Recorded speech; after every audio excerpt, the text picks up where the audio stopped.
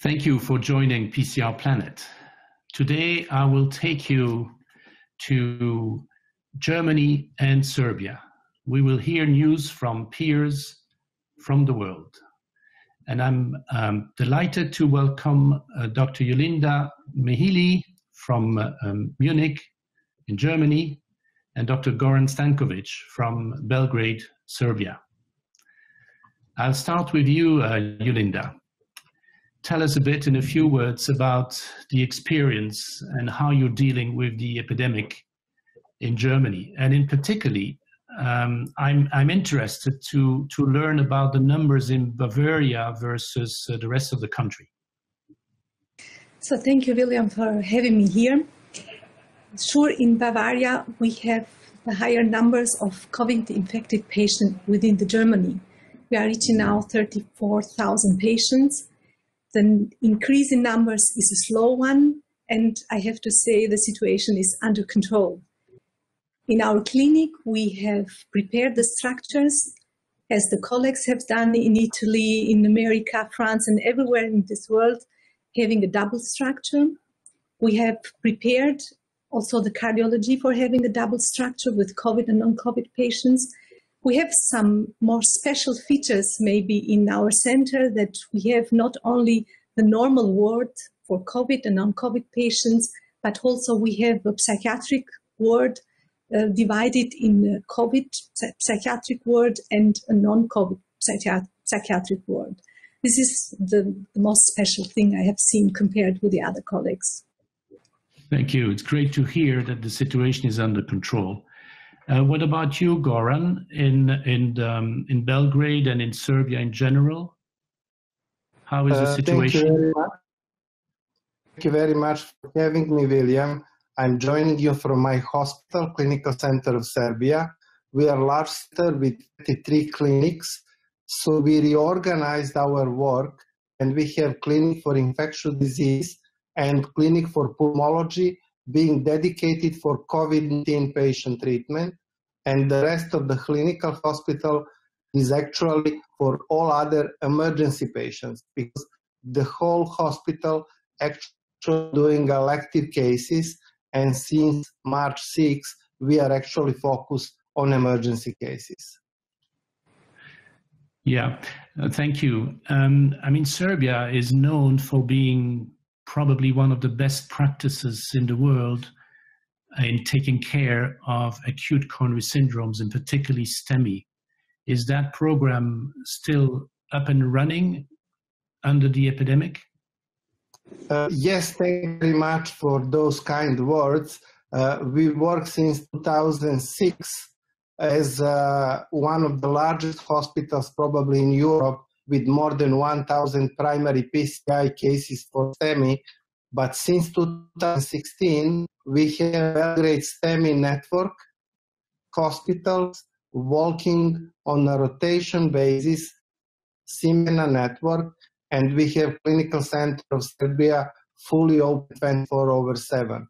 So at the beginning of the week, we immediately had a conference call and we decided to proceed the same way as before with one difference. The first hospital in Belgrade, Clinic for Dragi, Clinic Dragiša Mišović, was actually selected to be COVID hospital for acute coronary syndrome, especially STEMI. So we work the same. We admit patients through the emergency medical system. Patients who are COVID positive go directly one hospital, COVID center, all the others come to nearest hospital during the daytime and we have one hospital which is dedicated for all STEMI patients, again, Clinic Dedinje. So in the beginning, we decided to follow suggestion of Chinese colleagues to advise hospitals outside Belgrade to start with thrombolytic treatment because of possible delays. But with daily information, we realized very quickly that time delays are very short. So we changed and came back to routine. And now we treat almost all patients, whether COVID positive or not, with primary PCI as the first option. Thank you, Goran. Let me turn to you, Linda, again. Um, you perhaps in Germany and in Bavaria had a little more time to get prepared so you could implement all the changes in the hospital and division organization. Is there anything specific that you have implemented uh, in your environment? So, as you said, William, we were prepared since we have our neighbors, Italian, being in such um, um, big trouble with um, acute uh, with COVID. So we reacted very fast. Our task, COVID task force reacted very fast in changing the structure and um, releasing a lot of standard operation procedures for personal, for patients, for relatives of the patients, and for um, preparing also teaching videos for us and also for the others in Munich and in Bavaria, for others hospital in Munich and Bavaria. But um, we were focused, focused also in the well-being of our patients because COVID patients are not all intensive patients and only half of them are intensive patients. And uh, half of them, so at the moment we have 30 patients who are COVID positive, having lung disease or other um, manifestations, even cardiac manifestations, but who feel isolated because we have visiting ban as everywhere in other hospitals uh, who take care of COVID patients. So they feel very isolated. That's why we took care of this patient to reduce a little bit the social distancing. And one of the measurements that we have done is um, taking tablets and leaving, uh, giving to the patient to communicate per video with relatives is one. one of the measurements we have done. Another measurement is that the patient also are looking at uh, teaching videos or explaining videos regarding the disease. Another one is that we are offering to them um, psychological support because they, have, they are a lot afraid of this uh, unknown disease with such a high mortality as they have heard. So that's why we are doing these three measure. We have taken these three measurements for keeping the patient quiet and for supporting them also psychologically, not only physically. Another specialty in, in our clinic is that we, we as a cardiology have um, one full ward which is with COVID patients, some of them without cardiac manifestation and the others with cardiac manifestation. As you know, nearly one third of the patients has already a troponin elevation, the COVID patients. And we are very interested also to see how to and to understand the cardiac manifestation of this disease. And we are do doing also research regarding the inflammation and regarding the acute coronary syndrome triggered by COVID-19 disease doing, um, um, for example, for patients with COVID myocarditis, doing biopsies to understand if there is really the COVID, uh, the SARS-CoV-2 um, uh, virus uh, causing this. We are doing um, also MRIs for this patient. We are doing a randomized trial also, um, investigating the role of um, ACE inhibitor cessation among COVID patients, which is a by the way, an international trial, multi-center international trial. Another, That's great to um, hear. I, I think um, there there is one aspect about trying to bridge the social, you know, the isolation uh, using actually digital means, and and the other aspect is the research. I'll come back to you in a second. Um, um, Goran, yourself, have you have you experienced within the teams or with the patients or with the colleagues this um, side effect of isolation and having to take distance? Uh, yes, thanks for that question. I think it's present also here. What we try have a daily teleconferences, communicate and share the experience, try to implement.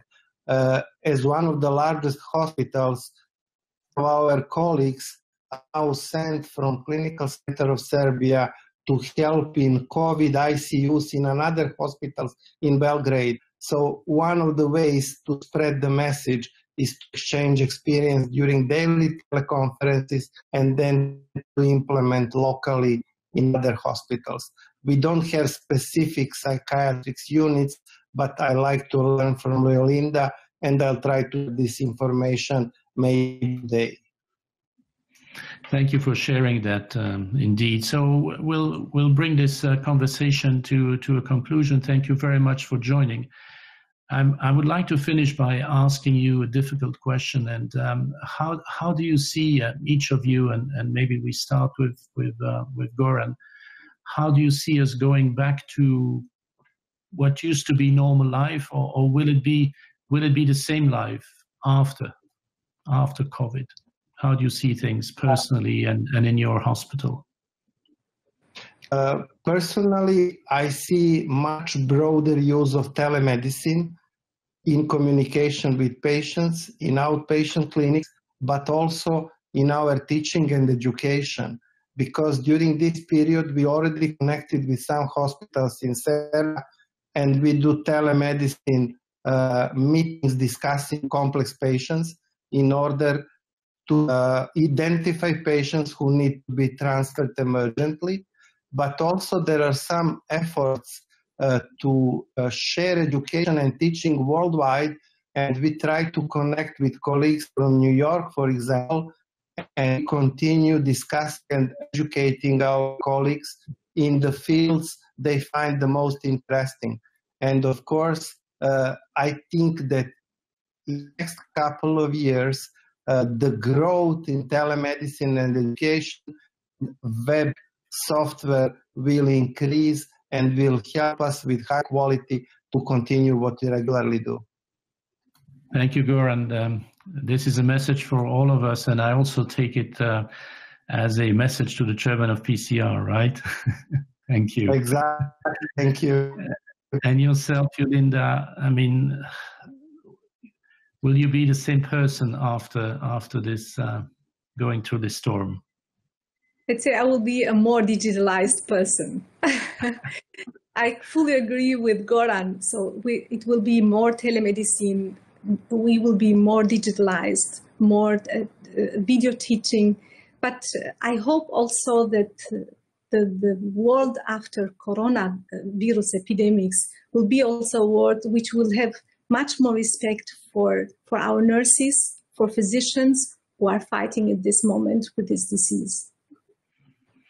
Yeah, we all hope that um, we will keep the leverage and that um, you know the communities will not forget too quickly um, all the good uh, statements and um, decisions that that were made about uh, making sure that uh, patients are granted access to proper care and that uh, healthcare providers uh, are respected and given the means to um, to deliver the care. We we've we've seen in these days uh, how badly you know the work we're doing is is needed and and how great it is in terms of uh, helping and supporting people so thank you very much for these great messages uh, i really liked uh, your your joint message about the fact that uh, the covid crisis is going to accelerate the um, electronic and digital transformation of our world maybe the medical world was a bit behind compared to others now we need to be in front and the second message is let's keep it uh, human communication, even though it uh, travels through digital means.